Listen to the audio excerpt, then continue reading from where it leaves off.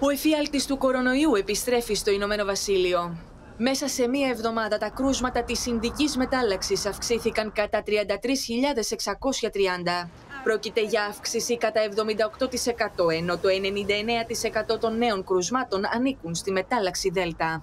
Η αύξηση αφορά πρωτίστως άτομα στις νεαρότερες ηλικιακές ομάδες, ένα μεγάλο ποσοστό των οποίων δεν είχαν εμβολιαστεί. Και οι εμβολιασμοί για όλους όσοι είναι άνω των 18 ετών ανοίγουν στη Βρετανία. Στη δίνη του κορονοϊού ξαναμπαίνει η Πορτογαλία. Την Τετάρτη καταγράφηκε η μεγαλύτερη αύξηση κρουσμάτων από τον περασμένο Φεβρουάριο και οι αρχές παίρνουν μέτρα. Η Λισαβόνα μπαίνει σε καραντίνα τα Σαββατοκύριακα με τους κατοίκους να απαγορεύεται να μετακινηθούν εκτός των τυχών της. Είναι próximo dos 70% vacinado, né? Portanto, as restrições têm de haver para, para, eh, para contrariar a proliferação da doença. Στη γειτονική της Ισπανία όμως οι μάσκες προστασίας θα αποτελούν παρελθόν από τις 26 Ιουνίου. Ένα μέτρο που θα τεθεί σε ισχύ και θα φορά μόνο στους εξωτερικούς χώρους.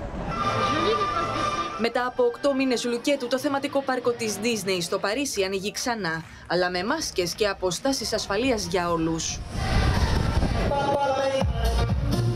Βήμα-βήμα η Ιταλία ξεπερνά την πανδημία και ανοίγει ξανά τα θεματικά της πάρκα.